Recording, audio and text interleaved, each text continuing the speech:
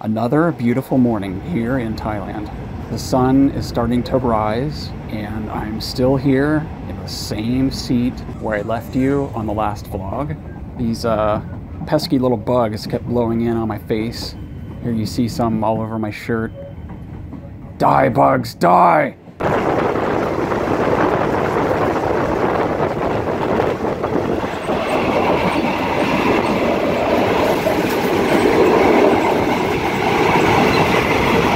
I was lucky to get maybe half an hour of sleep last night. Anyway, we are still riding the rails on this approximately 14 hour journey up to northern Thailand. The sun has started to rise, and the train has come to life. The scenery is slowly evolving from the flat grounds down near Bangkok up to hilly mountainous country along the way, you see lots of crops, little farms. So let's take a moment and talk about restrooms. Remember how I said it was nice to see a Western style toilet in the last episode? Well, here is uh, what you get on the train a metal hole in the ground. I guess you put your feet on those little pedestals, but it's slippery and wet with urine. The overwhelming smell of decaying organic matter is enough to knock you out. And this one had an actual sink. Um, of course, there wasn't any running water in it, and there's no place to dry your hands.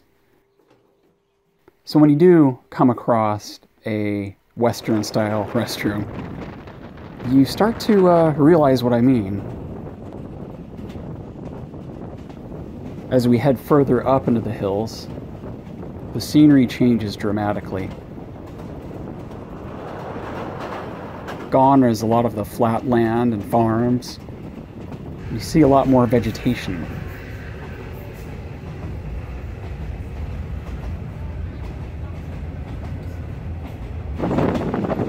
Tunnel ahead. I love tunnels.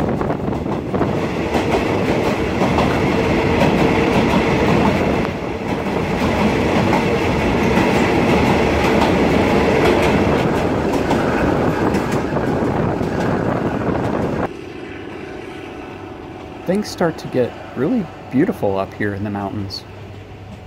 Not that it makes this train ride worth going on, um, but it is uh, it is a small reward for putting up with the hours upon hours of agony.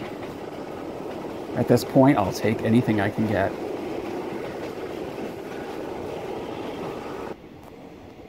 Here we start to see some misty mountaintops.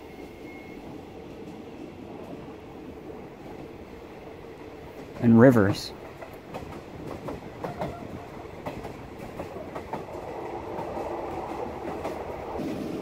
And the tracks of the train start to get more windy. There's a lot more bends, a lot more interesting scenery to look at. And you'll just be riding along in the train. Things are pretty mellow inside. And then, bam! You see a scene like this. Breathtaking. Absolutely beautiful. The sun's getting pretty bright now, and a lot of the mist has burned off as we make our way further up into the mountains.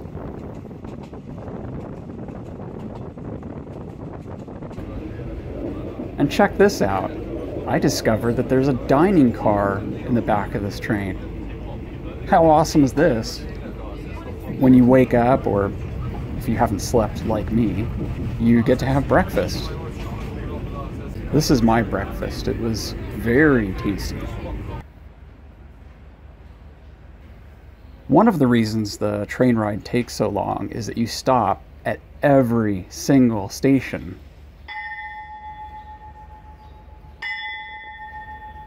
every single station and you wait. I'm not sure what you wait for, but you sit around and wait and just add time onto your journey.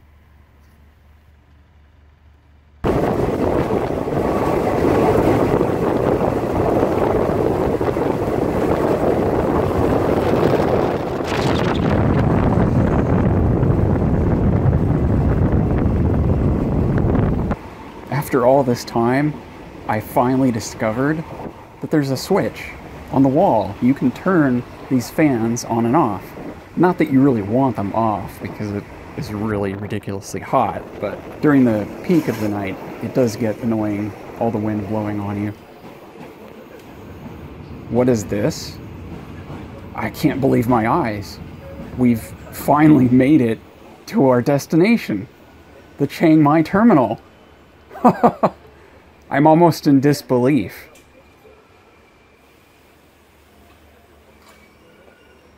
Ah, what a relief. I never want to do something like this again. This was not enjoyable.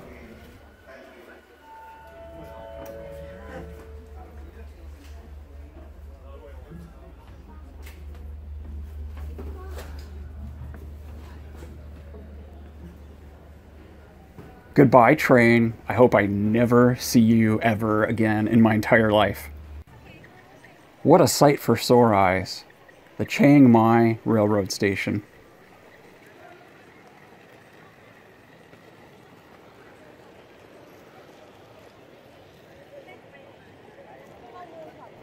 Okay, we've met up with our Uber driver who is taking us on our way to where we'll be spending the night.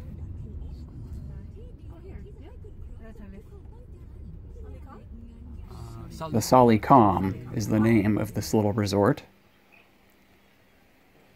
It's far off the beaten path, but after a lot of the places we've stayed so far, the idea felt refreshing to be away from the hustle and bustle of the city center. However, we discovered upon reaching the gate that uh, it was locked and there's nobody inside. This is not what you want to have happen. After being awake for almost 14 hours on a dirty, noisy train and having very little food in your belly. Fortunately, we were able to get the Hotels.com reservation desk on the phone and get the situation resolved within a few hours. All right finally got in. There was a little misunderstanding about the booking. But, you know, this place so far is worth the effort. Beautiful. Very traditional buildings.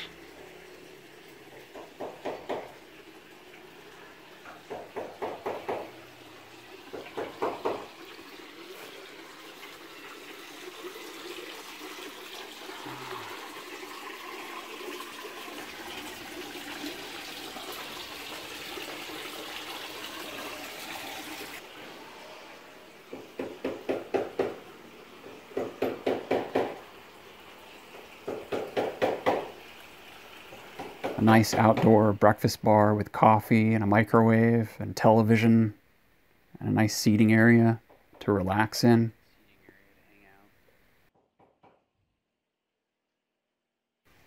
This is the view from the balcony of our room. I gotta tell you, this is such a relief after being on that train. It was time to venture out and grab a bite to eat. Just down the street, we found this cool little convenience store, market, with tons of Thai foods and snacks.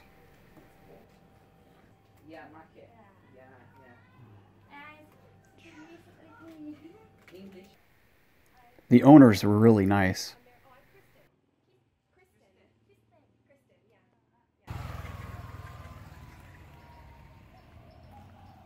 And a little further down the road, we stumbled upon a genuine neighborhood farmer's market.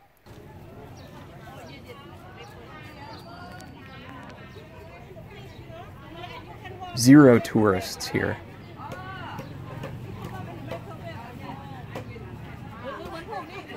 In fact, the locals were so shocked to see white people that they offered to give us a tour.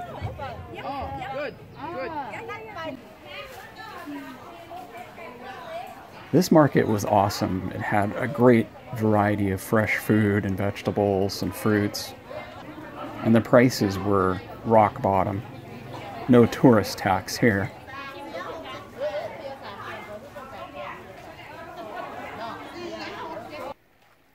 So we gathered up some food to eat for dinner later and headed back to our room, where we promptly crashed for the evening. Can you blame us? Wow, that was the world's longest train ride from hell. And this is where we end today's vlog. Thanks for watching. I love hearing your feedback. Go ahead and leave a comment below and please subscribe. You might be the one who helps me reach 1,000 subscribers.